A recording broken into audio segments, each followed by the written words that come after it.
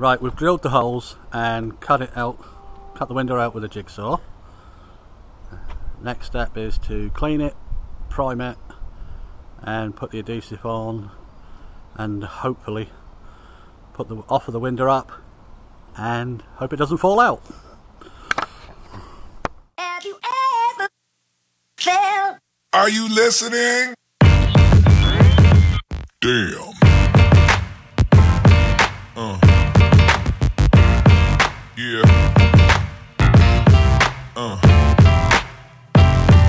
Yeah.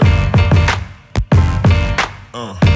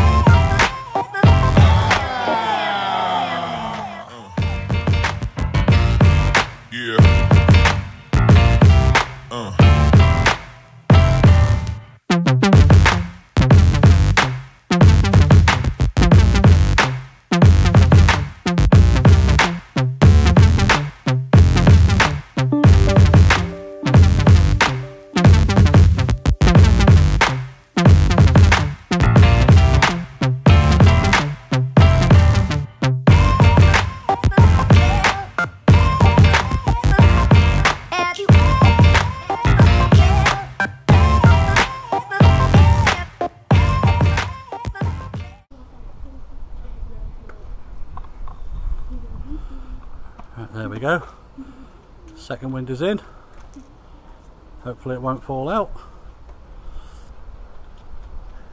That uh, first one stayed in okay, no problem. Looks pretty good. Well, I think so anyway.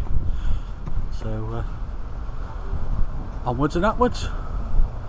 Till next time, see you again.